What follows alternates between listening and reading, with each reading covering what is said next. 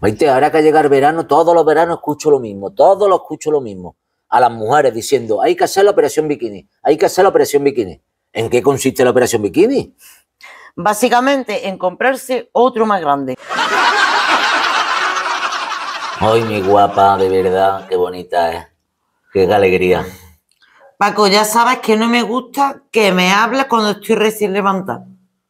Pero Maite, que me he pegado 15 años en coma. Y sigue. Maite, Dime, Paco.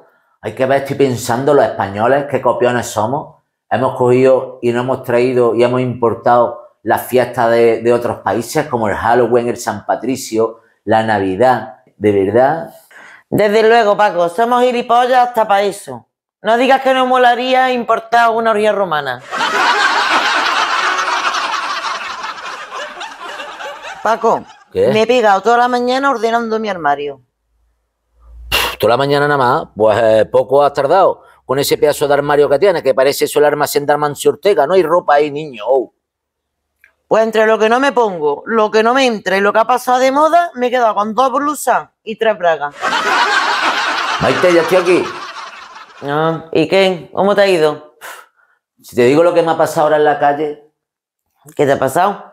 Porque se me ha acercado un indigente y me ha dicho, oye, perdona, ¿no me puedes dar un poquito de dinero? Que me hace falta, que no tengo un duro para comer ni nada. ¿Y tú qué le has dicho? Yo le he dicho que no llevaba dinero en lo harto, que no llevaba ni gota, ni un duro. Pero que donde yo trabajo, le podía yo encontrar trabajo porque allí hay una vacante, un trabajo para él.